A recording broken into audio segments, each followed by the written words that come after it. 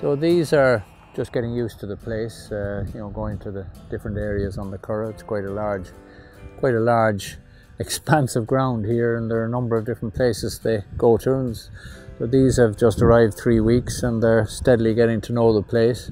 This is their first day on this particular strip of ground. They're up here near the race course, cantering down there now to come up this uh, wood chip gallop. They're coming up about seven furlongs. Uh, their first time on this gallop called the Old Vic. They have to start going a little bit faster now, getting a little bit of weight off.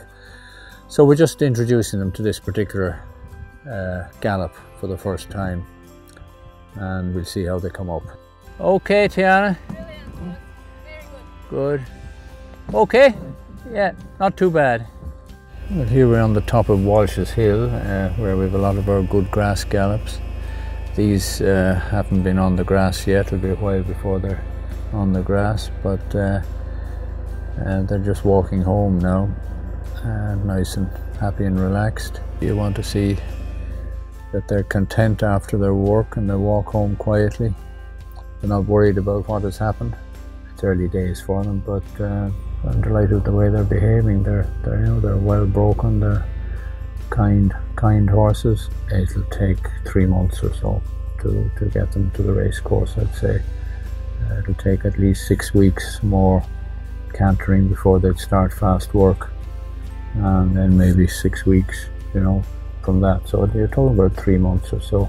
Different trainers have different styles. You know, some trainers like to give them a quiet introduction. Uh, they don't like to have them too souped up for their first run other trainers are good, good, you know, they get them to win first time out. That's what they like to do.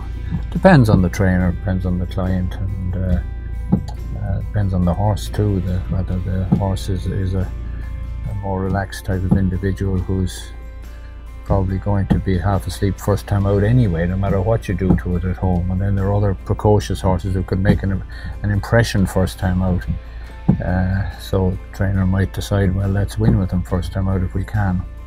So it's easy to prepare them to do that on, on the training here because they get so much experience. They're, they're out in the open spaces and they learn a lot.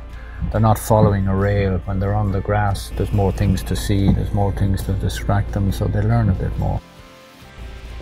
It's always nice looking at horses, I think, you know, when they when they're walking out and walking home. I do this every day, of course, of my life, but uh, I never tire of just watching them, looking at them.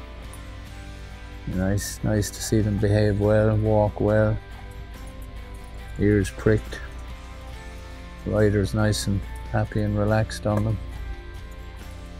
Everybody getting on well together. I suppose that's why we train race horses. These sort of simple things give us some pleasure. If you didn't like it, you know, if that didn't give you some enjoyment, I suppose you you wouldn't be bothered doing the job.